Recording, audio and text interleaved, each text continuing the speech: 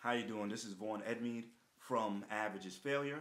And what I've decided to do is that for this first month of the year, what we'll do is focus on four things that I believe are going to be the foundation of any type of achievement that we want to make this year as far as reaching the fullness of our potential, okay? So, you know, um, those four, the four things that I wrote down, I have it here in my notes, is vision, faith and or belief, your why, and being yourself. And I, I didn't really write that in order, but I'm just letting y'all know, right? So the one that I want to deal with for the first week of this year is your why. And I think that that's probably at the, even of the four that I mentioned, those might be foundations for us to achieve whatever it is we, we would like to achieve. But at the foundation of even those four, the why is the most important one out of all of them, I would, I would say. And so you have some of you might have heard of like leadership gurus such as Simon Sinek. He wrote a book called Start with Why. You might want to go uh, find that book and check it out. Uh, Eric Thomas also talks about one of the questions that he asked in some of his presentations is, you know, what is your why? Um, you can go on YouTube and find that video. But I want to talk about your why because there are two reasons why. There are more than two reasons, but two of two of the most prominent reasons why uh, most people will fail at something usually it'll tend to be because they're lacking in competence or they're lacking in motivation. Now, most of you all are probably doing something right now already that addresses like the competence issue, okay? So what I mean by that is if you're in school and you're listening to me, then they're addressing your competence already, right? If you're in medical school, you're learn, learning how to be a competent doctor. If you're in law school, you're learning how to be a competent lawyer. You're learning the skills, the tools that you need in order to just do the job. Okay? If you are an apprentice of some sort, then you are learning the trade, whether that, you know, it might be something in HVAC or what have you, um, but you're learning how to be competent. But what school is not really designed to teach you is the motivational aspect. Um, the, the, and I, I use that term motivation real lightly uh, because I don't want, I don't want this to just be an, a motivational thing. This is about empowerment, right? So the reason why your why is so important is because your why is the very thing that's going to hold you, the very thing that's going to keep you going, especially when you don't feel like going. All right. So you don't really need motivation when you feel like doing something. You don't need empowerment when you're ready and willing and able to do something. You need these things when like you're having one of those days and you're like, yo, I'm just about to sit in the bed all day, all week. You need those things when you feel like nobody believes in you, or you feels like you're just by yourself, or what have you. Uh, there's like like you feel like nothing's gonna work out. So some of the things, some what I don't want you to do is just find a general uh, weak why, because if your why is weak, then you're never going to have the consistency and the commitment and the longevity that you're you're seeking for. Does that make sense? What you have to do, what all of these leaders talk about, is having a strong, compelling why. Why is it that you want to accomplish whatever it is that you would like to accomplish this year? Okay, so some of the strong whys that most people will tend to draw to are, for, for me, it's people. I'm a people person.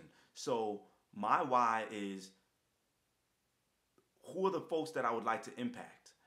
If I don't do what I'm supposed to do, who who who misses out? And we're not necessarily even just talking about miss out in terms of they don't um, they might fail at something. That's not what I'm talking about. But who might not reach the fullness of their potential if I don't continue working on trying to get better in every area of my life and reach my full potential, so to speak. Does that make sense? So, what about future generations after you, right? Can you position yourselves when you think about the people who have been successful in the past? Can you position yourself in such a way so that even after you're dead and gone, future generations of your lineage is uh, they're, they're still financially stable and not just them but also the um let's say other people who who you like to impact. Let's for instance if you put together some sort of um, institution then the institution continue to benefit can can continue to benefit other people right? So so that could be a strong compelling why. Your family maybe you want to make your parents proud. That can be a strong, compelling why.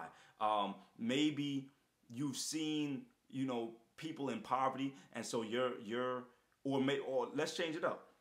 Maybe you can't spend as much time with your family as you would like to, and so maybe the ability to have freedom and to be able to choose when you want to work, when you want to go into an office or what have you, maybe that'll be your motivating factor. That'll be the why as far as why you decide to step into entrepreneurship so that even when you're having a bad day, it doesn't look like you your your your business that you're trying to start, your company is going to that you're trying to start, it doesn't look like it's going to work out. You still say, "You know what? I see I had this thing that allows me to see or, or, or reminds me of why I'm doing this." And so when I'm reminded of why I'm doing it, I remember the importance of it, and so I continue going ahead, going ahead and digging deeper into it. So that's why I think that even when you think about men like Martin Luther King, so you hear the why and and why he was willing to do in the reasoning that he was willing to do all the things that he did. So he says things to the effect of he longs to see a day when black children and white children can come together and playing in harmony. You know what I mean? He, you, you, anybody that you look up to. I'm sorry, not anybody that you look up to, really, because some of us might look up to people that they ain't got no strong. They, whatever. That's a whole other topic.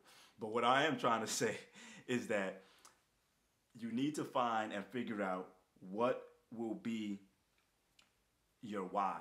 Some of you, I, I, I know for myself, one of the things that keeps me going have I figured everything out as yet? No, but I'm trying to. Why? Because I don't want to be a slave to a nine to five for the rest of my life.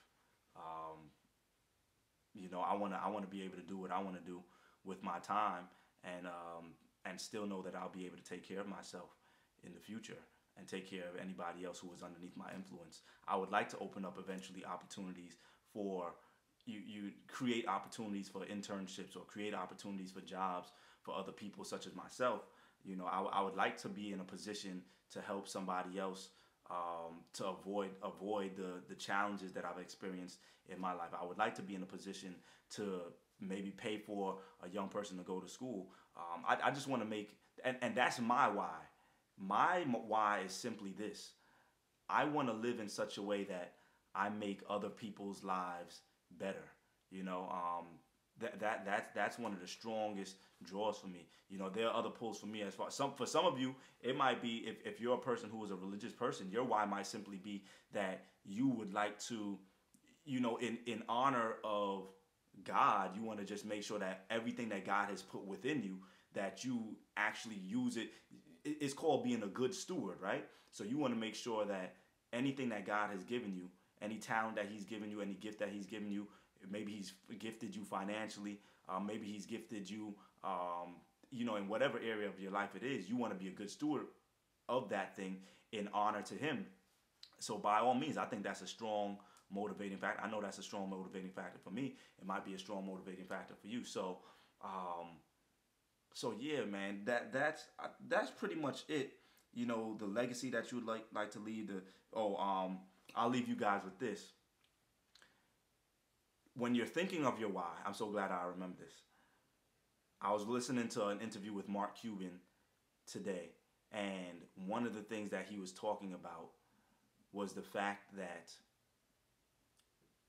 he operates in such a way where he pretends that there's somebody that's trying to take everything that he's worked to build, um, you know, everything that's important to him.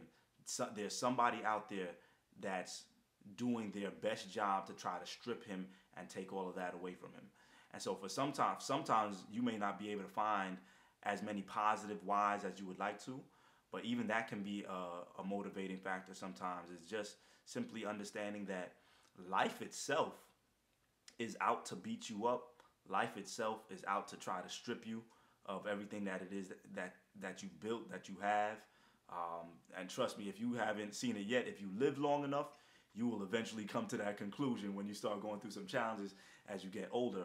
So, so, so one of the things that I know that I plan to implement into my life this year is conducting myself in such a way a- as if, and life has already tried to do that, but even more so being more conscious of the fact that there's somebody out there, and maybe it, it might not necessarily be a person, but th- just that concept, the idea that there's something that's trying to take everything that I want away from me, everything that I need away from me. And this thing does not care whether or not I live or die.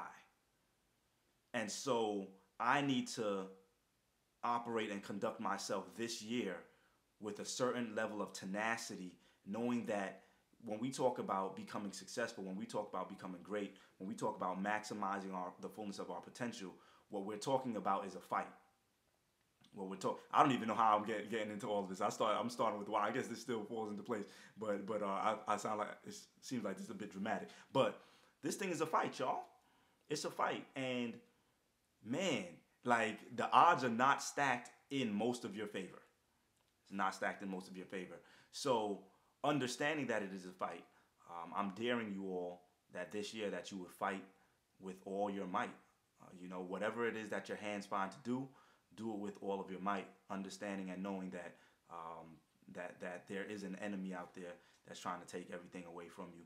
Um, but thank goodness, I believe that um, that if you're faithful, if you're faithful over the few things that you have, if you're a good steward with the few things, then God will honor that and that He'll provide increase for you um, in due time. So, in due season, we will reap if we faint not, man. So, my my so okay, so make sure after you watch this video, I just want you to write down the different whys that you have that you and you can hang it up somewhere if you want to, but write down all of the whys. What what are the different things?